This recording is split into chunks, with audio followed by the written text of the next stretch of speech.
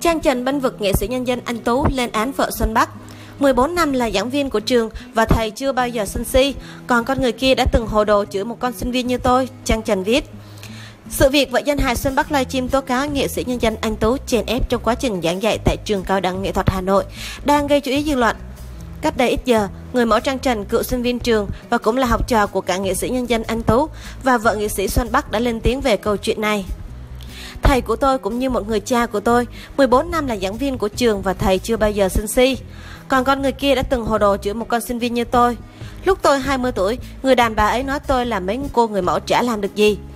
Lúc đó dĩ nhiên là tôi đâu để cho một bánh bèo vừa tốt nghiệp đại học chỉ đang làm trợ dạng bộ môn hình thể sân khấu có thể chữa tôi và thằng Sơn bạn tôi như vậy. Ngày hôm nay, cô ta xúc xỉa thầy giáo của tôi và cô ta quên mất rằng thầy của tôi là đàn anh đi trước nhiều năm và là một người thầy đầy yêu thương trách nhiệm với sinh viên của mình. Thì việc nhà cô ấy góc to như thế nào đã từng tuyên bố, một là Trang bị đuổi học, hai là tôi nghỉ việc, thì hiển nhiên sau 3 ngày cô ta tuyên bố sẽ đi du học Hàn Quốc và tôi vẫn học bình thường. Cái tính ngông cuồng cậy gốc vợ xúc xỉa một con đầu dễ khuất như tôi. Câu chuyện hôm nay lại khẳng định sự tinh tướng của chị. Đến cái kỹ năng cơ bản nhảy cha cha cha, chị còn chả nắm được mà chị đã vội vã vu cho tôi. Chân dài người mẫu làm được gì thì việc thầy tôi bị chị vu là chèn ép cũng dễ hiểu.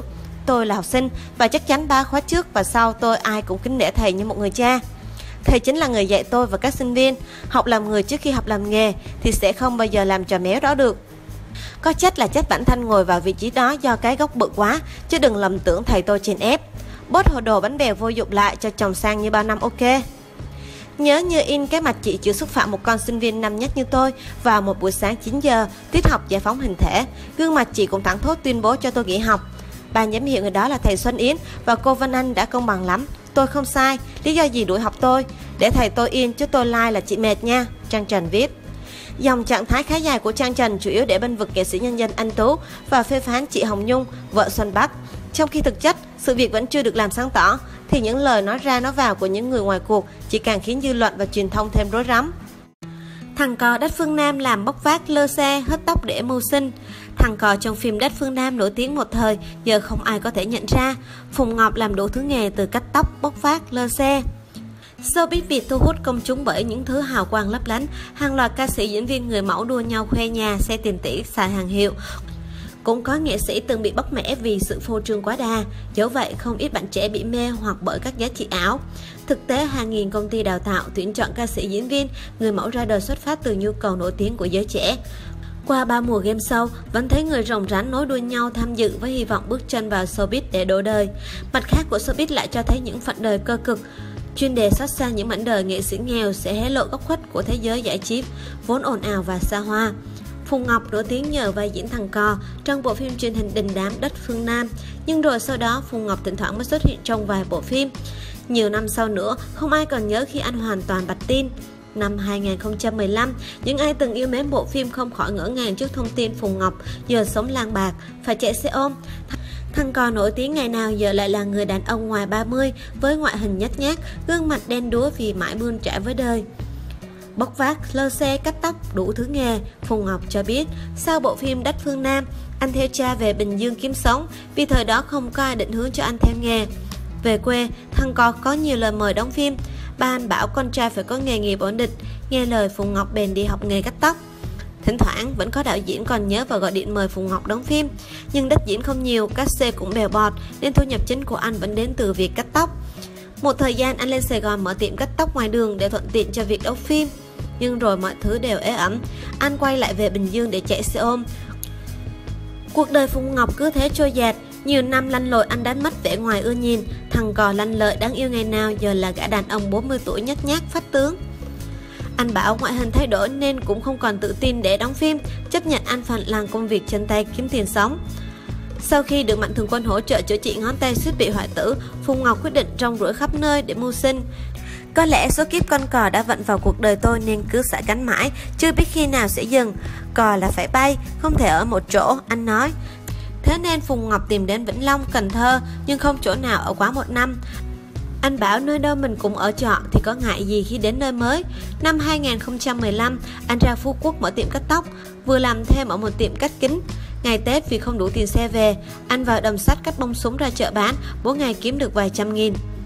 Đó là mảnh đất hiền hòa nhất tôi từng ở, nhưng ở lâu cũng chán nên tôi về Bình Dương để xem có gì mới không, Phùng Ngọc kể.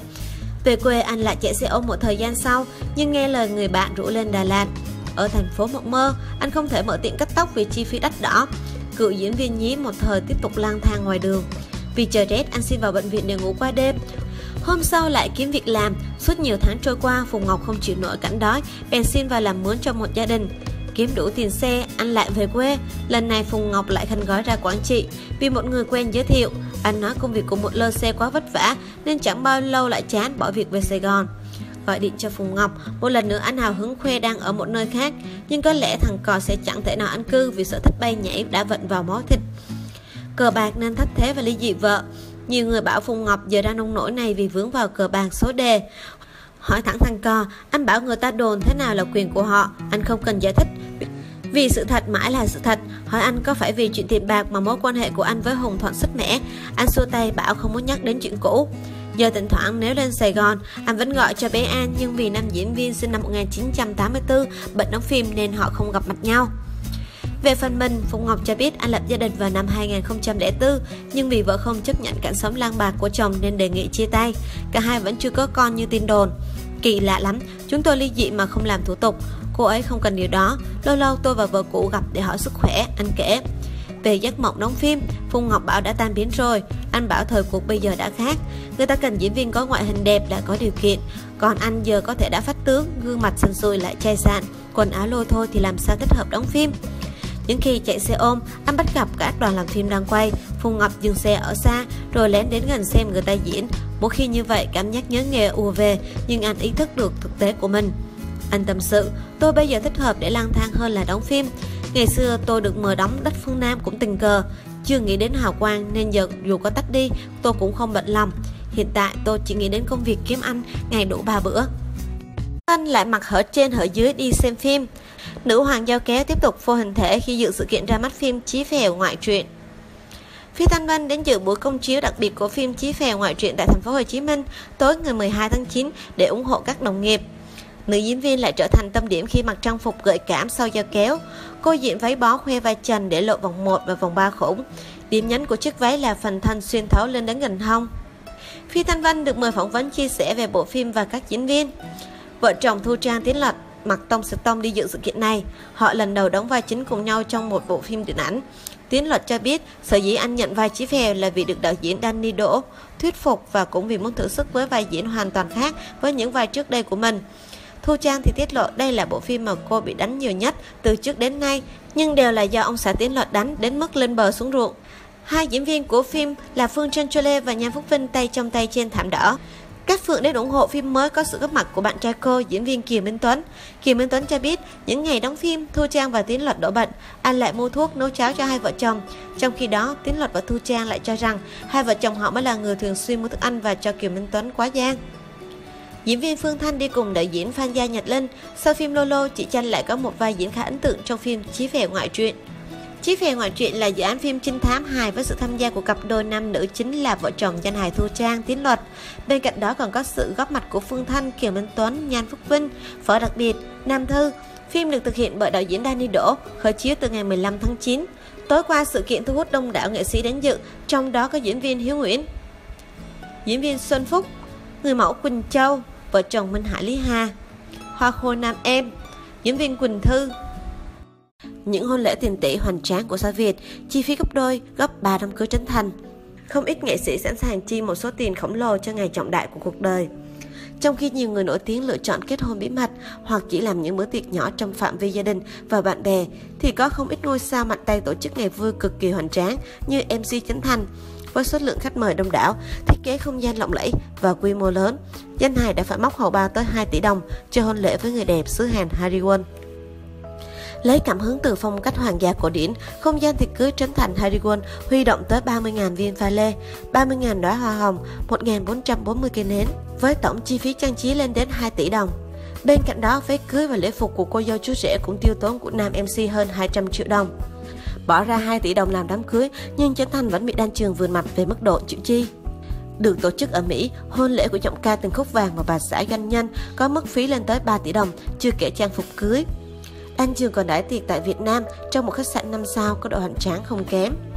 Lên xe hoa lần hai với doanh nhân Đức Hải, Jennifer Phạm được ông xã dành tặng một hôn lễ đẹp như cổ tích.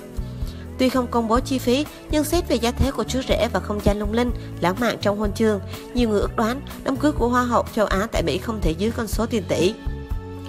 Được gả vào một trong những danh gia vọng tộc đình đám nhất Việt Nam, chắc chắn hôn lễ của Tăng Thanh Hà và ông xã doanh nhân cũng phải tiêu tốn tới hàng tỷ đồng.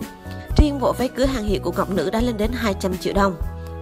Cuối tháng 9 năm 2013, làng giải trí Việt được một fan xôn xao trước hôn lễ của chân dài Phạm Ngọc Thạch và doanh nhân Hà Thành Đỗ Bình Dương với chi phí tổ chức lên tới con số kỷ lục 7 tỷ đồng.